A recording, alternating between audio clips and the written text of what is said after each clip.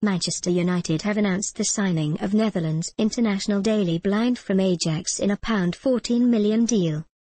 The 24-year-old arrived at Old Trafford on Monday evening fresh from being named Dutch Player of the Year, and is reunited with former international coach Louis van Gaal after signing a four-year contract with the Red Devils, with the option to extend for a further year.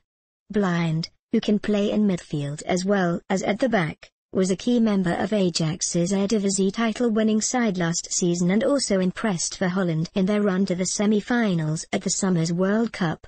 The son of Netherlands assistant and former Ajax captain Danny, Blind thrived under Van Gaal's stewardship in Brazil and is familiar with the coach's preferred three-man defensive formation.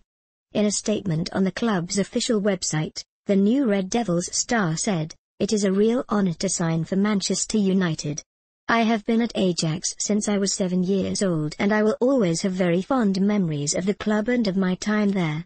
Louis van Gaal is a tremendously talented coach, I have worked with him at Ajax and also for the Netherlands national team and I cannot wait to work with him at the biggest club in the world.